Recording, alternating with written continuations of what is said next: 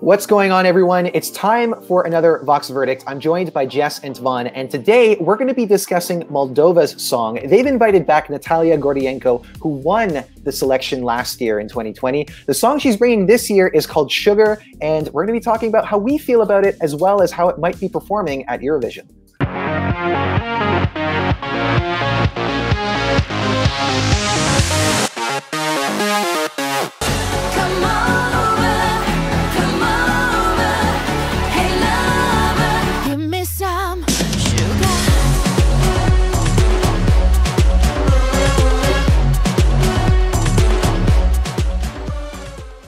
So Moldova has a bit of a track record of sending quirky songs that tend to be up-tempo and danceable. This one definitely fits into that category. Um, I'm going to go to you first, Twan. How do you feel about Natalia Gordienko's song this year?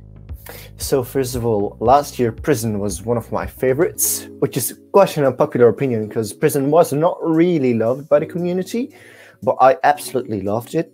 And I, I have to say it's the same for Sugar. It's definitely a guilty pleasure of mine. I mean, Philip Kirkorov did this song, and he always does really well songs, well made songs.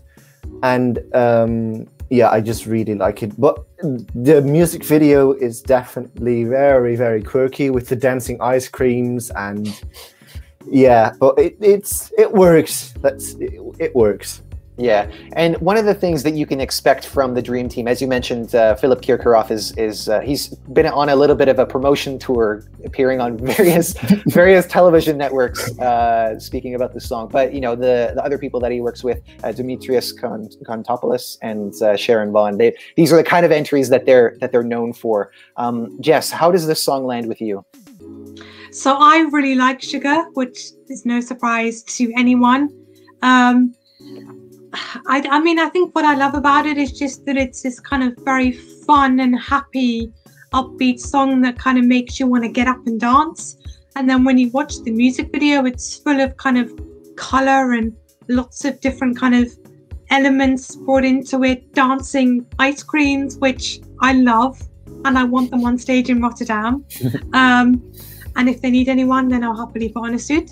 But just the whole package kind of pun intended is very sweet and sugary um, and i just i just love a song that i can bop to and this is the perfect song to do that with Mm-hmm. This is one of the songs this year that is kind of exactly what it says on the on the tin. It's sugar. It's it's you know light, fun. It's it's danceable.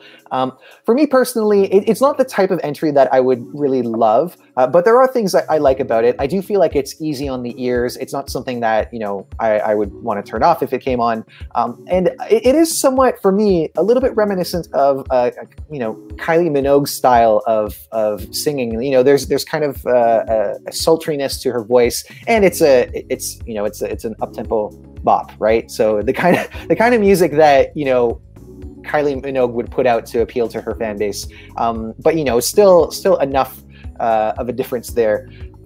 But yeah, as a song, I wouldn't say that it's the most original. Um, we kind of know we know that we get these kinds of songs for Eurovision every year, um, and and yeah, that, that's really like the the drawback for me. Like I, th- there are plenty of bops this year, uh, but some of them have con- considerably more character than uh, this one does, in my opinion. But it, it, doesn't surprise me that this this is a song that that does see some some attention because you know I, I think the Dream Team knows that this is a formula that works. Um, but you know, putting those feelings aside, uh, talking about potential at Eurovision, Twan, how do you feel like this song may perform? I don't really know. Kind of gives me Maruv vibes, but they're not dark vibes, but really Barbie, sugar, happy. Um, I think it can do very well if it's got very good staging, which it probably will have because Philip Kirkorov is involved. Um, as far as her vocals go, I'm not really sure because we saw her perform Prison Live a couple of times last year and it wasn't the best, but Sugar is less challenging vocally and it's been a year, so she's probably improved. Um, well, if, if it comes across well live, I think she's definitely going to qualify. Whereas in top 10, I cannot really see her in the top 10. But uh, who knows? DoReDoS in 2018 wasn't expected to be in the top 10 either, and they finished top 10. So who knows what will happen?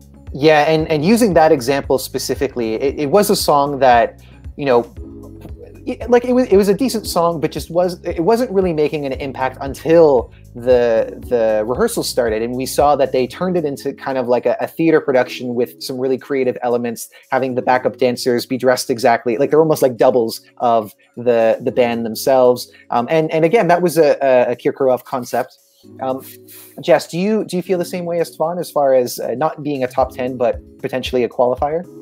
I think so. Yeah. I mean, I can I could I could easily see this song qualifying to the final, but because like whoever one of you mentioned it is quite like a simple song, and I feel like there's they've got a lot of competition from some of the potential qualifiers. So I feel like probably some somewhere mid-table in the final, I could see this finishing, depending on how the performance and the staging is. Mm-hmm. Yeah, I, I I tend to feel like you know, with with all the things that we know about how this could go, it, it seems like it's destined for a place in the final.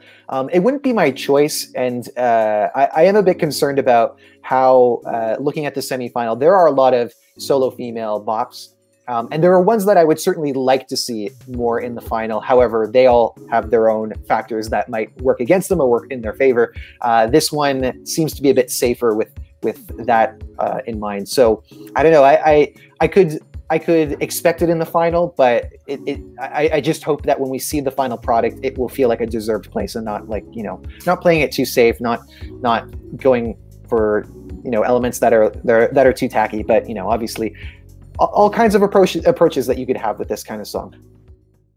So let's deliver a verdict. Twan, what reaction do you give to Sugar? I'm gonna give it a love. Uh, it's just a guilty pleasure. I love it. Okay, and Jess. I like the song, so it gets a smiley face from me. Okay, for me, I'm going to give it the neutral face this time. Uh, I could potentially like it a bit better if they really nail that staging, which a lot of people seem to think that they will. So we'll have to see. My feelings might change. Um, going over to the rest of Team Eurovoxx, we don't have any people who dislike the song, which you know could be a, a, a good sign. You know, as far as we're concerned, at least. Um, four people have the chin scratch emoji, think that it could be a little bit better. We've got nine people who are like me who have the neutral face, not totally feeling it, but aren't necessarily bothered by it.